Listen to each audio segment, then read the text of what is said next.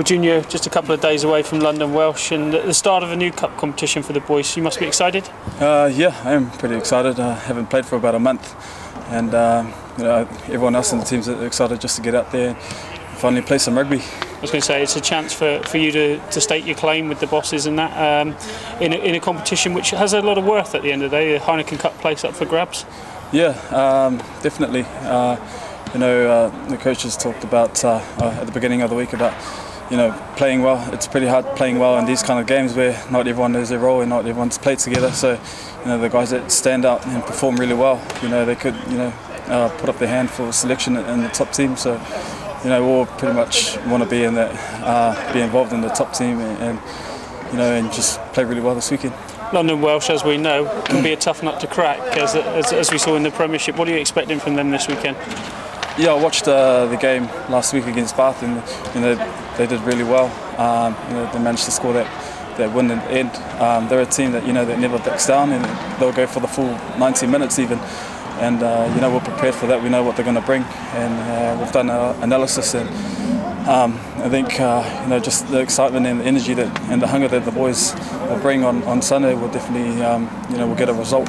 Looking at the looking at the squad, Junes, there's a nice uh, blend to it, a, a, mix of experience with yourselves and a few others, Budgie, with the youth coming through as well. Uh, does that excite you? Yeah, it does actually. You know, it's a great opportunity for, for everyone involved, and especially you know someone. Uh, like me with a bit of experience to help out the younger guys. I've got young Slady playing outside me at 10. So, you know, I'm hoping that he could, you know, learn a few things. And also, you know, it's just uh, it brings the best out of everyone, you know, uh, especially the young ones, knowing that, you know, they've got some older heads in the team. You know, there's not going to be anyone panicking out there. We all know, all know our roles and all know what to do. So, yeah. People talk about the youth coming through and the academy working. I think we've seen that with the A League and now in perhaps competitions like the LV Cup. Yeah, there's uh, a lot of potential with the, the guys in the academy and the young ones um, coming through, and uh, you know it's great to see, and you know, hoping uh, they could really put in a really good performance on Sunday to you know, try and stake their claim for you know for next year or the year after. But I think it will be a great uh, learning experience for them.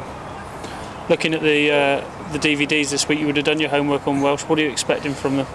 Um, just a lot of.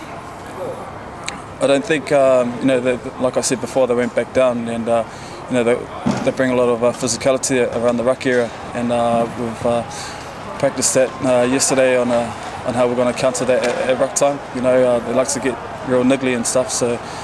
And um, you know, they've got quite a few powerful runners in, in, their forward pack, so we're just looking forward to getting out there and playing some rugby. Brilliant. Thanks, James.